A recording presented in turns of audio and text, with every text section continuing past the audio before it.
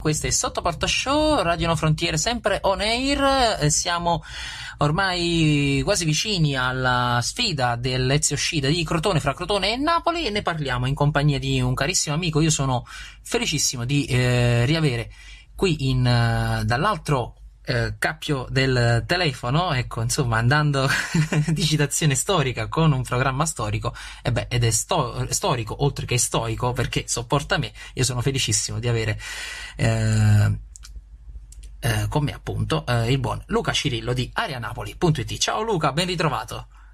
Ciao Raffaele, buonasera a te e a tutti gli ascoltatori. Vedo che, che ti ricordi bene il nome, insomma, ci hai messo tre minuti. no, è la stanchezza, caro Luca, scusami. No, no, no, il nome me lo ricordo bene e, e chi si dimentica, d'altronde, ecco, sei stato uno dei protagonisti di questo 2017 e ti ringrazio davvero per tutti i contributi che hai avuto modo di fare. Lo dico ora lo dico ora così non mi dimentico, ecco, insomma, non ci metto quei 3, 4, 5 minuti per, per dire due cose. No, eri, eri, ancora, eri ancora ammaliato dalle note del maestro Vitale. bravo, bravo, grazie, mi hai salvato in corner. Beh, la qualità è sempre grande portatore di, eh, di, ciarla, come si suol dire. A proposito, eh, caro Luca, Crotone-Napoli, dicevamo, eh, offre forse non tanti spunti, non ruba l'occhio, ma vale comunque sempre tre punti, no? Per il famigerato titolo d'inverno, ma è un titolo che forse serve eh, per i titolisti più che altro. Che dici? O no? No, non sono d'accordo. Mm, mm, mm, mm mi piace citare Nanni Moretti, io con la maggioranza non mi trovo mai d'accordo, cerco sempre la minoranza, poi quella minoranza che diventa maggioranza mi fa essere ancora una volta non d'accordo e quindi rientro ad essere d'accordo con gli altri. Battute a parte, certo. è una partita fondamentale perché per me quest'anno il campionato si decide negli scontri diretti e agli scontri diretti bisogna arrivarci al pieno dei punti possibili. Se una volta si diceva che il campionato si vince in provincia, io credo che quest'anno non basta. Mm. Vincere in provincia aiuta a vincere l'eventuale scudetto a patto che nella classifica bursa degli scontri diretti si è primi in classifica nella classifica. Quindi non è una partita banale, è una partita che ruba l'occhio molto, mm-hmm. ruba l'occhio molto, mm-hmm. anche e soprattutto perché ci sono dei calciatori molto interessanti nel Crotone come i due napoletani Mandragora e Trotta, ecco. poi c'è un, un, un, un terzetto d'attacco eh, niente male con Budimir e Stojan che vanno a comporre questo trittico con Trotta e quindi bisogna stare molto ma molto attenti, anche perché questa sera non sappiamo se poi giocherà al Viol o Chiriches o se addirittura Sarri, ma io non ci credo, possa dare la prima chance effettiva a Maximovic.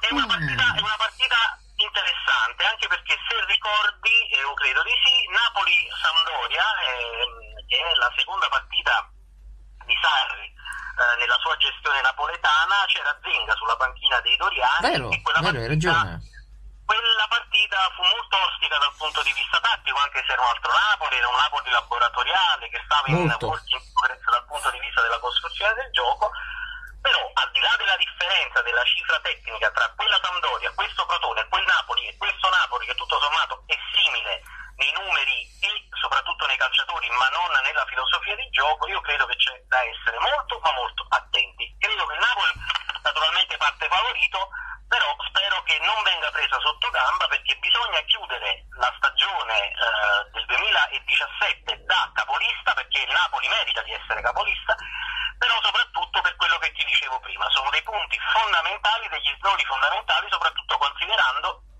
che poi nelle prossime giornate la Juventus avrà sì due trasferte, ma non assolutamente ostiche, mm. e il Napoli invece inizierà il girone di ritorno con delle partite tutto sommato uh, agevoli. Quindi non demordiamo, andiamo avanti a spada tratta, cerchiamo di chiudere anche questo filotto di risultati con uh, il pieno, anche perché poi ci sarà la pausa invernale sì. dopo la partita di, della prima di ritorno contro il Verona e quindi poi riprenderemo, tireremo un po' il fiato e ci auguriamo che poi alla fine di gennaio possa rientrare almeno subito Milik e qualche giocatore da mettere dentro la calza e quindi naturalmente stiamo parlando di De Laurentiis che deve essere bravo a mettersi sulla scopa della Befana e di regalare qualcosina a Sarri e ai tifosi.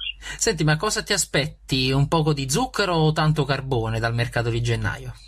Ma come solitamente accade, eh, non mi aspetto né zucchero né carbone, per il semplice motivo che De Laurentiis, mm, ben che vada, compra la calza. Poi, eh, per quanto riguarda il contenuto, eh, è sempre un qualcosa di funzionale il futuro e mai per il presente. Ecco. Se ricordi l'unica, l'unica sessione invernale nella quale poi sono arrivati i calciatori che oggi sono titolari sì. e quella in cui arrivarono Gulam e Giorginio e quindi difficilmente il Napoli nella, nella campagna acquisti invernale ha fatto acquisti mirati per migliorare l'11 titolare.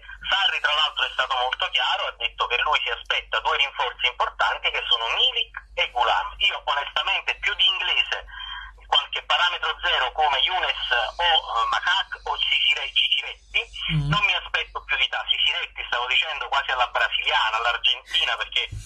Attenzione alle pronunce che sai che sul web fra Perishish e altre cose abbiamo esatto, sentito esatto. di tutti i colori. Il modus operandi della RAI, quindi eh, va bene così. Io credo, io credo che al Napoli serva tutto sommato un'alternativa a, ad Insigne e Mertens in grado di, di, finalizzare l'azione sugli esterni e poi con il rientro di Milik e, e, con l'arrivo di Inglese il Napoli credo sia a posto anche sul versante offensivo ma il calciatore che più di tutti può servire a questo Napoli è un terzino sinistro perché oggettivamente pensare che Gulam possa rientrare subito dalla fine di febbraio, inizio marzo, così come l'avevamo, ritro- così come l'avevamo lasciato, è un po' difficile da pensare. E pensare poi del pari che Mario Rui possa andare avanti su alti standard di rendimento senza avere un'alternativa alle spalle è un po' difficile. Quindi io mi auguro che principalmente il Napoli faccia due operazioni in attacco per colmare eh, quello che effettivamente serve e poi soprattutto il terzino, perché fondamentalmente sono questi voli, non di più.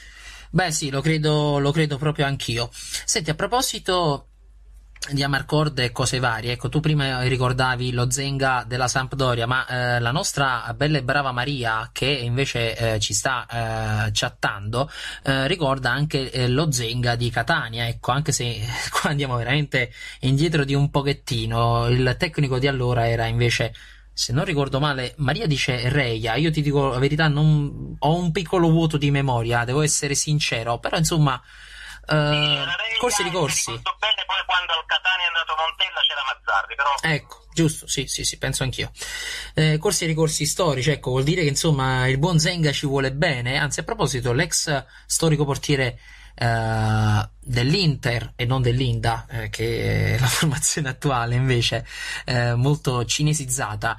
Uh, ci vuole bene, ecco, insomma, ha fatto dei complimenti effettivamente, e poi ci ha scherzato anche un pochettino su. Ecco, secondo te eh, il calcio sta diventando un pochettino troppo pesante in alcune dichiarazioni o troppo astio, troppo veleno. Ci vorrebbe forse un calcio più zenghiano, almeno di facciata, perché poi insomma è normale che ci possa essere Guarda, magari. Mi trovo, mi, trovo, mi trovo molto d'accordo con il mio amico Claudio Pea, storico giornalista che scherza sempre con toni, toni forzati, ma lo fa per un discorso di satira, il quale sostiene sempre che il calcio è un gioco e tale deve restare. Poi che ci siano degli interessi alle spalle del calcio non deve essere materia che riguarda i tifosi e quindi non si devono mai inasprire i toni. Quindi Pienamente d'accordo. Ben vengano le dichiarazioni scherzose di Zenga, ben vengano le dichiarazioni anche abbastanza colorite di, abbastanza colorite di, di Sarri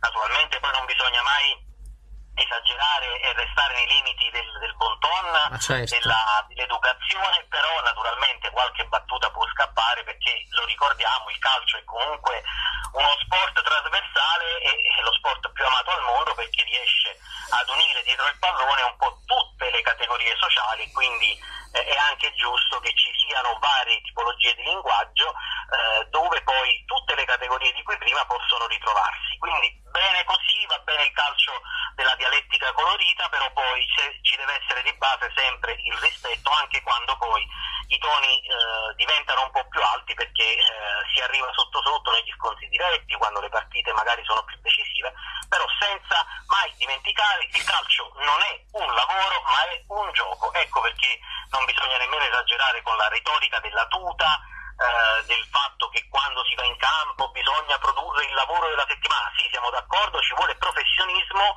ma il calcio deve restare un aspetto ludico della nostra vita e quindi ben vengano le dichiarazioni di Zenga contengono stilisticamente anche un, uh, una sorta di complimento indiretto per, per, il, per il tipo di gioco che sta facendo Sarri. Sono pienamente d'accordo, sottoscrivo quello, quello che dici, caro, caro Luca. Um, Crotone-Napoli sì, è una sfida interessante. Tu dicevi arrivare agli sconti diretti con il massimo dei punti, ma quanto pesa quella palla sprecata da Chic in uh, Juve-Roma? Pesa tantissimo, eh, ma c'è anche il risvolto della medaglia, però, perché comunque dobbiamo fare due riflessioni. La prima è che quella palla uh, sbagliata da Chic peserà moltissimo anche sulla classifica della Roma. Certo. Perché dobbiamo essere, dobbiamo essere realisti. Il Napoli naturalmente corre per, per, lo scudetto, quest'anno è inutile fare gli scaramantici, eccetera, ma naturalmente corre soprattutto per rientrare ancora una volta nel lotto delle squadre che giocheranno la Champions il prossimo anno. Quindi al di là che c'è ampio spazio, il Napoli naturalmente deve considerarsi a pieno titolo una delle favorite eh, per, per, il campionato, ma bisogna guardarsi anche alle spalle, al di là della Juventus che sta facendo un campionato stratosferico come sempre. Eh il fatto che Napoli sia davanti ti dà la dimostrazione di quanto ancora più stratosferico sia il campionato del Napoli, però la Roma che ha perso terreno allo stadio naturalmente vorrà rifarsi e quindi sarà più velenosa negli scontri diretti che poi eh, caratterizzeranno eh, il girone di ritorno e quindi eh, il Napoli da un lato sì, probabilmente forse doveva sperare in un pareggio tra, tra le due squadre, uh-huh. però dobbiamo essere anche onesti nel eh beh, certo, Juventus, certo. prima della palla di sbagliare la Chic, aveva creato molte altre occasioni ed era stata sfortunata. Ma senza dubbio. Io credo che la, la classifica di oggi rispecchia perfettamente quella che è stata uh, la, la, la, stagione di entrambe le squadre, della Juventus e del Napoli. Il Napoli che è meritatamente davanti, però purtroppo il Napoli ha sbagliato, uh, se vogliamo, due dei quattro scontri diretti, quindi con l'Inter forse il Napoli doveva usare un pochino in più per raccogliere la posta piena considerato quel calo dell'Inter e poi con la Juventus secondo me bisognava essere un tantinello più calcolatori perché magari un pareggio oggi avrebbe offerto una classifica in cui forse un 2-3 punti di distacco esprimevano meglio la differenza tra le due squadre. Eh beh sì, sicuramente evitava anche questo fiato sul collo che tanto contraddistingue la vecchia signora e che chiaramente non fa mai stare, diciamo, tranquilli eh, i propri i propri avversari. Uh, la panoramica poi del campionato, ecco, insomma, è abbastanza effettivamente chiara. Uh, ci sono pure le coppe, il calciomercato, come abbiamo già, come abbiamo già detto, caro Luca. E beh, insomma, uh, varianti ce ne saranno fino, diciamo, alla, ta- alla tappa di marzo ed aprile. Uh, secondo te le coppe quanto possono determinare, ecco, diciamo, l'andamento dell'una e dell'altra squadra? E poi, eh, quanto sei d'accordo con chi dice che il Napoli ha una rosa corta? È effettivamente così? Oppure è l'esatto contrario? Basta vedere giocatori come Zelinski, Diavarà e Rog che giocano poco? Eh, io, uh, o meglio, quanto meritano di giocare, certo. Sì, rispetto alla prima domanda, quella su, sull'incidenza importante che può giocare eh, la, la, presenza degli impegni di Coppa. Dico che la Juventus quest'anno probabilmente ci punta più che, che l'anno scorso, perché Buffon probabilmente giocherà l'ultima stagione con la Juventus, quindi mm. eh, io credo che il club bianconero proverà con tutte le sue forze ad arrivare fino in fondo anche in questa edizione della Champions, ma dall'altro lato bisogna pur dire che hanno una rosa talmente ampia in cui entrare ad una Juventus con Scesni o con Buffon a proposito di Schick e di quella parata, anche se Scesni è stato molto onesto nel dire che Schick gli ha tirato addosso, eh ti rende l'idea del fatto che la Juventus comunque a prescindere dai tanti impegni ha comunque la rosa utile per poter arrivare fino in fondo su entrambe le competizioni, anzi ti dico pure la Coppa Italia naturalmente perché la Juve non butta mai niente eh no. e quindi pensare che eh, in questo momento giocatori come Douglas Costa, lo stesso Bernardeschi ed altri facciano fatica ad essere titolari ti dà un po' la dimensione di quello che è la Juventus eh. in questo momento, senza poi dimenticare Piazza, che è un giocatore che avrebbe fatto molto comodo al Napoli. che addirittura non gioca e non trova spazio, poi c'è Marchisio, ci sono tanti altri calciatori insomma, che fanno dormire sonni tranquilli alla Juventus. Forse la Champions peserà un pochino di più sulla Roma, ma effettivamente per quanto fatto vedere dalla Roma nelle ultime settimane un calo verticale c'è stato così come per l'Inter, quindi io mm. penso che al di là di, di, discorsi prospettici e di rispetto per le pretendenti al titolo, la lotta si è più o meno assottigliata verso l'alto con due squadre principalmente che sono il Napoli e la Juventus probabilmente dovrà fare una scelta per quanto riguarda l'Europa League, anche perché per rispondere alla seconda domanda io credo che il Napoli se fa un mercato degno di nota con almeno quei due tasselli di cui prima, io credo che a quel punto non ci possa essere più la famosa disputa sull'essere d'accordo o meno della rosa del Napoli lungo o corta, perché a quel punto il centrocampo del Napoli credo sia fornito molto bene per fare la competizione. La difesa considerato che Chiriches delle buone garanzie le dà, Maggio sta giocando con abbastanza continuità rispetto agli anni precedenti e quindi Sari lo tiene molto in considerazione, io credo che numericamente ci siamo, poi possiamo ragionare sulla qualità degli interpreti alle spalle dei certo, titolarissimi certo. e lì si può aprire un altro discorso molto importante. E anche molto lungo. Naturalmente, naturalmente Napoli non ha panchina calciatori di livello stratosferico come magari li può avere la Juventus o qualche altra squadra. Quindi io credo che la rosa del Napoli sia numericamente eccellente. Dal punto di vista della, della qualità naturalmente non possiamo pretendere che il Napoli metta in panchina calciatori da 50-60 milioni di euro, così come fa la Juve perché ti ricordo che contemporaneamente in panchina nelle ultime partite eh, della Juventus c'erano Di Bala 150 milioni, eh, Scesni 40 milioni, eh, Bernardeschi altri 40 milioni, quindi siamo già ben oltre i 240 milioni di euro circa.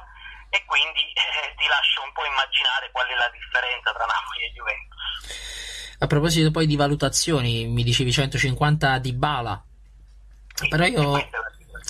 Eh, no, ma io rabbrividisco al sol pensiero. No, vabbè, ma certo, ma qua andiamo proprio, diciamo, nell'epopea Neymar ormai siamo, 222 milioni, 180 Mbappé, 85 per il difensore, credo del Southampton, ora acquistato dal Liverpool. Eh, ah, dallo, dallo, United, pardon, scusa, ehm, confuso. Eh, comunque pagato pochino, eh, 85 milioni, ecco, insomma e ci sono delle cifre davvero io che veramente faccio fatica a credere, ma non so, magari, magari su questo ci possiamo ritornare, che dici? Anche in un altro appuntamento, ecco, insomma, perché... Quando vuoi, quando vuoi.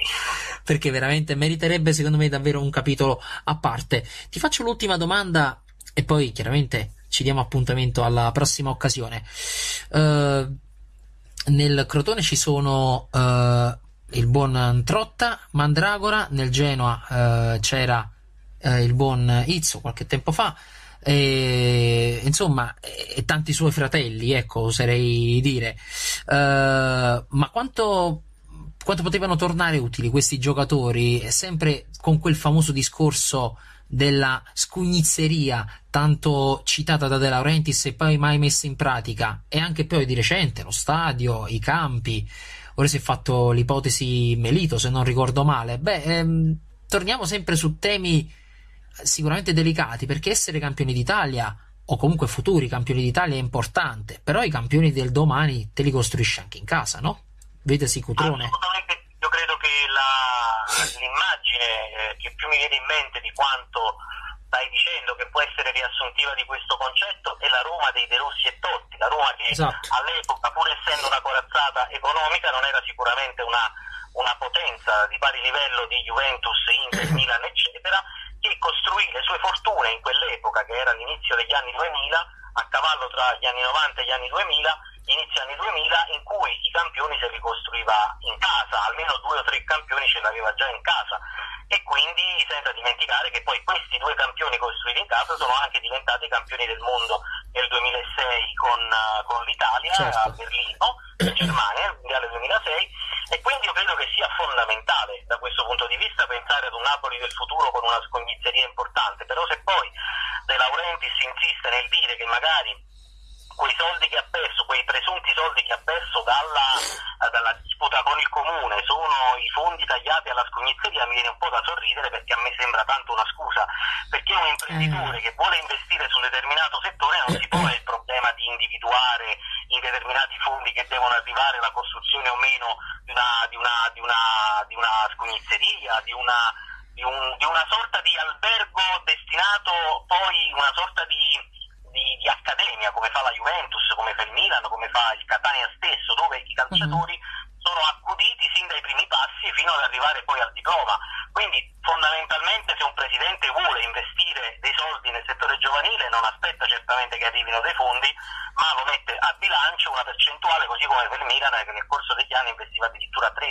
milioni di euro, mentre il Napoli ad oggi investe sui 4-500 mila euro, quindi questo ti dà un po' la dimensione dei certo, ragionamenti che certo. un po' spesso e volentieri non tornano per quanto riguarda il settore giovanile.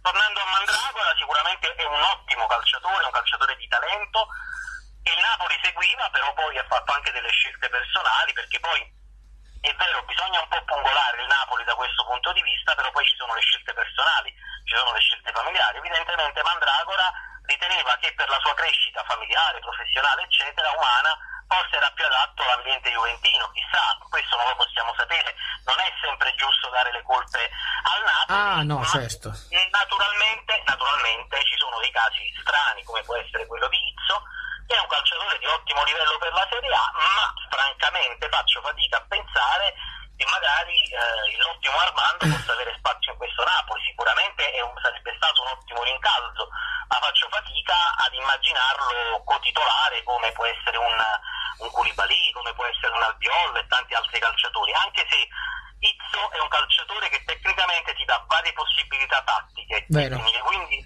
come spesso ne parlo con uno dei suoi agenti che è il mio amico Mario Fogliamandillo, spesso facciamo delle, delle valutazioni anche di, di, natura tecnica, quindi Izzo secondo me era un talento che meritava di rimanere a Napoli, perché poi la storia di un calciatore non è sempre legata al talento che si sviluppa, ma anche dove si sviluppa, perché un calciatore che magari cresce nel Napoli, si sviluppa il suo talento, la sua crescita accanto a campioni importanti, magari diventa ancora più forte.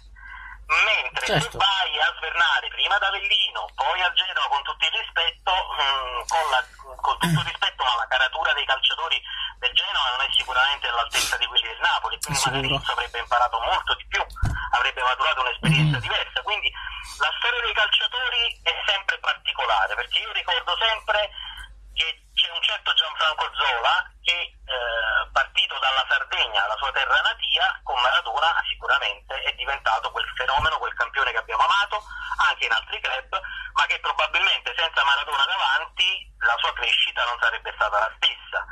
Quindi eh, un calciatore è, è la somma di tanti fattori, tra cui anche la fortuna.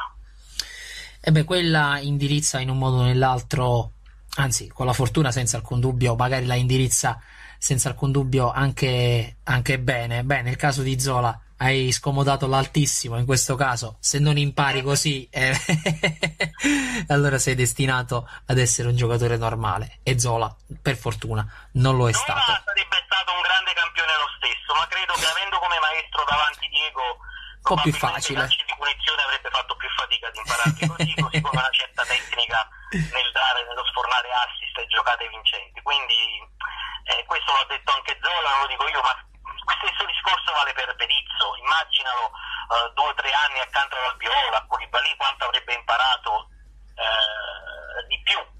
Forse avrebbe avuto la possibilità di emergere ancora di più, ma nella vita probabilmente ognuno ha un destino tracciato e quello non si può, non si può cambiare. Poi possiamo ragionare di filosofia, di religione, di libero arbitrio, però questo è un altro ragionamento.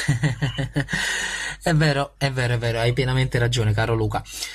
Um, è stata come sempre una bella, ricca, proficua chiacchierata in tua compagnia. Io ti faccio i miei più sentiti auguri eh, di uh, buon 2018, di buone feste e augurio che chiaramente estendo a tutta la redazione di Aria Napoli. Riferirò i tuoi saluti ai colleghi, è sempre un piacere, tanti auguri a te, alla radio, ai tuoi familiari, alle persone che vuoi bene e poi naturalmente anche se giornalisticamente mh, mm, spesso non piace, ma dire un Forza Napoli ci sta sempre bene perché è indice di attaccamento alla propria città, a prescindere poi dai toni professionali che bisogna certo. avere, mai, eh, sempre avere senza mai farsi prendere poi troppo da, da, quella parte passionale che ci trascina e che dobbiamo tenere fuori quando facciamo le analisi. hai pienamente ragione. Io al Forza Napoli, però, ci aggiungo il sempre, comunque e dovunque.